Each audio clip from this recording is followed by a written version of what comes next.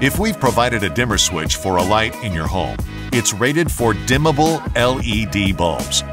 Not all LEDs are dimmable. If you add a dimmer in the future, you will need to make sure it is rated for the bulb you intend to use.